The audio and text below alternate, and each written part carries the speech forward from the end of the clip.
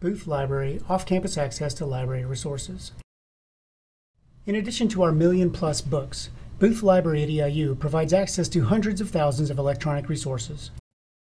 From electronic books, to digitized primary resources, to streaming media from Alexander Street and Kanopy Streaming, to full-text article databases.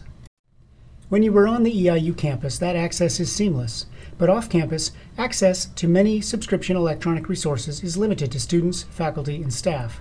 To access these resources, simply click on the link to the, to the desired resource. Or perform a search in any search box, such as the library's default search, the Articles tab. Or search from the library widget on your course site. If access is restricted, you will be prompted to log in using your University NetID and password. You may also log in to library resources using your library ID number and last name. Your library ID number is located in the lower right corner of your Panther card or student ID card. Once you are logged in, your access to library electronic resources is seamless. You only need to log in once per browser session. Librarians are available to help you succeed.